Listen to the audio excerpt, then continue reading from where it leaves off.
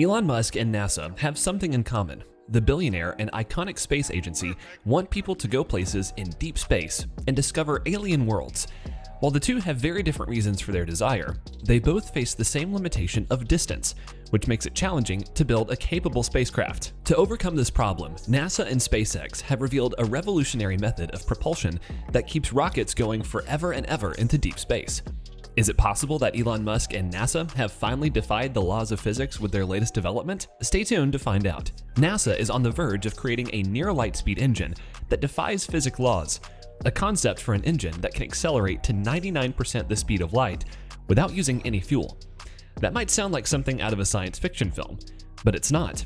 One of NASA's engineers is working on something similar, and it's rumored to have the potential to defy physics. The planet Earth isn't going to be habitable forever, if the human race is going to survive, one day we'll have to pack up our things and move to another planet. It sounds easy until you realize the vastness of space, and even how big our solar system is. No matter where we're going in space, we need to travel fast, and not just at the speed of light either. We're talking about ludicrous speed. But some researchers have designed an impossible engine that violates the laws of physics, and another group of scientists is now saying a warp drive is possible. Is NASA working on this technology? And what does the future hold for space travel? For every action, there's a reaction. That's a principle on which all space rockets operate, blasting propellant in one direction to travel the other. But one NASA engineer believes that he could take us all to the stars without any propellant at all. Designed by David Burns at NASA's Marshall Space Flight Center in Alabama, the helical engine exploits mass-altering effects known to occur at near light speed, Burns has posted a paper describing the concept to NASA's Technical Reports server. He claims to have developed an engine design that might hypothetically speed up to 99% the pace of sunshine without the necessity for propellant. On paper, it works by exploiting the best way mass could change at relative speeds, these speeds that are nearly the pace of sunshine's travel in a vacuum. He's put it to the NASA Technical Stories server below the title Helical Engine. Dr. Burns writes in his paper that his in space engine might be used for long term satellites that need to keep traveling without the need for refueling. He added that, quote, it might additionally propel spacecraft throughout interstellar distances, reaching near the pace of sunshine. Light would battle to maintain the speed that these rockets could achieve, altering the eyesight in unusual methods, all pieces behind would flip darkish, and time would seem to slow to a sluggish crawl, and clocks slowed down as well, as planets would also give the appearance of stopping rotation. Dr. Burns' loopy notion is revolutionary, as a result of it eliminating the need for rocket gas. It's been met with skepticism from some corners, but Burns believes his concept is worth pursuing, saying, I'm comfortable with throwing it out there. If someone says it doesn't work, I'll be the first to say it was worth a shot. To move people to Mars and past, rockets equivalent to those produced by NASA and SpaceX would require tons of propellants like liquid hydrogen. The issue is that the extra gasoline you place in, the heavier the ship turns into. Trendy propellant tanks are just too giant for interplanetary journeys. Excessive tech particle accelerators, equivalent to those utilized in Europe's Massive Hadron Collider, are used within the helical engine to get around this. Light speed. The engine, described in a recent paper Burns posted to the NASA server, takes advantage of a weird glitch in Einsteinian physics by accelerating a loop of ions to nearly light speed, then manipulating their velocity. Therefore, the laws of relativity, their mass, the engine achieves the ultimate space travel free lunch, a forward thrust without shooting anything behind. To get grips with the principles of Burns' engine, picture a box on a frictionless surface. Inside that box is a rod, along with a ring that can slide. If a spring inside the box gives the ring a push, the ring will slide along the rod one way, while the box will recoil in the other. When the ring reaches the end of the box, it'll bounce backwards, and the box's recoil direction will switch too. This is action-reaction, also known as Newton's third law of motion, and in normal circumstances, it restricts the box from wiggling back and forth. But, Burns asks, what if the ring's mass is much greater than when it slides in one direction than the other? Then it would give the box a greater kick at one end than the other. Action would exceed reaction, and the box would accelerate forwards.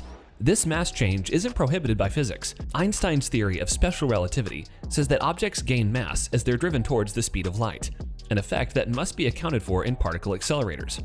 A simplistic implementation of Burns' concept would be to replace the ring with a circular particle accelerator, in which ions are swiftly accelerated to relativistic speed during one stroke, then decelerated during the other.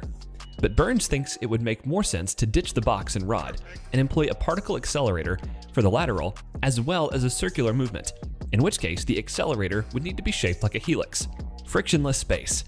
According to New Scientist, the helical chamber would have to be pretty large, around 200 meters, or 656 feet long, and 12 meters, or 40 feet in diameter, to be precise. And it would need to generate 165 megawatts of energy to produce 1 newton of thrust, which is about the same force you use to type on a keyboard. That's the equivalent of a power station to produce the force required to accelerate a kilogram of mass per second squared. For that reason, the engine would only be able to reach meaningful speeds in the frictionless environment of space. The engine itself would be able to get 99% the speed of light if you had enough time and power, says Burns. So a lot of input for a teeny output. It's inefficient, but Burns notes the efficiency problem in his presentation, and also adds that his work hasn't been reviewed by experts, and there might be errors in his math.